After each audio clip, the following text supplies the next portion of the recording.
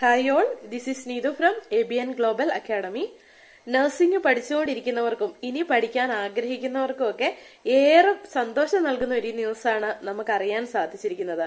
അതായത് യു എയിൽ നമുക്ക് എക്സ്പീരിയൻസ് ഇല്ലാതെ തന്നെ രജിസ്റ്റേർഡ് നഴ്സായിട്ട് വർക്ക് ചെയ്യാനായിട്ട് സാധിക്കും.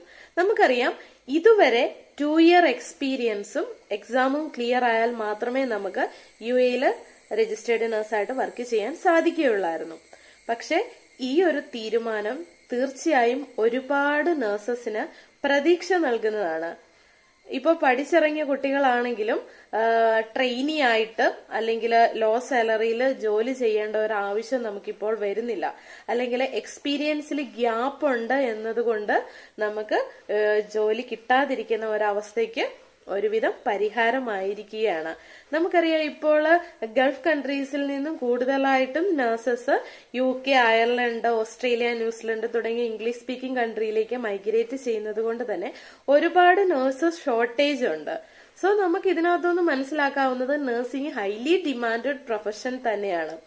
ഈ ലാസ്റ്റ് മാസം നമുക്കുണ്ടായിരുന്ന സൗദിയുടെ റിക്രൂട്ട്മെന്റിന് ഒന്നര വർഷത്തെ എക്സ്പീരിയൻസ് മതി എന്ന് പറഞ്ഞിട്ട് പോലും ആവശ്യത്തിന് നഴ്സുമാരെ അവർക്ക് ലഭിച്ചിരുന്നില്ല. സോ ഇതിൽ നിന്നെല്ലാം നമുക്ക് മനസ്സിലാക്കാൻ സാധിക്കുന്നത് നഴ്സിംഗിന് ഹൈലി ഡിമാൻഡ് ഉള്ള ഒരു പ്രൊഫഷൻ ആണ്. അതുകൊണ്ട് പ്ലസ് ടു ഒക്കെ കഴിഞ്ഞ് നഴ്സിംഗ് പഠിക്കണോ എന്ന് ആഗ്രഹിച്ചിരിക്കുന്നവർക്ക് ധൈര്യമായി ചൂസ് ചെയ്യാൻ പറ്റുന്ന ഒരു പ്രൊഫഷൻ തന്നെയാണ് നഴ്സിംഗ് നമുക്കറിയാം ഒരു രാജ്യത്തിന്റെ സുഗമമായ പ്രവർത്തനങ്ങൾക്ക് അവരുടെ ഹെൽത്ത് സിസ്റ്റം വളരെ ഇമ്പോർട്ടന്റ് ആണ്. സോ അതിൽ നഴ്സസ് വളരെ വലിയ റോൾ തന്നെയാണ് വഹിക്കുന്നത്. ഇപ്പോൾ യു എ ഇപ്പോൾ നമുക്കറിയാം ഗോൾഡൻ വിസ അല്ലെങ്കിൽ ഇതുപോലെയുള്ള എക്സ്പീരിയൻസ് ഇല്ലാതെ വർക്ക് ചെയ്യാൻ സാധിക്കുക എന്നുള്ള ഒരു ഓപ്ഷൻ ഒക്കെ കൊണ്ടുവന്നതിന്റെ പിന്നിൽ തന്നെ നഴ്സസിന്റെ ഷോർട്ടേജ് എത്രത്തോളം ആണെന്ന് നമുക്ക് മനസ്സിലാക്കാൻ സാധിക്കും.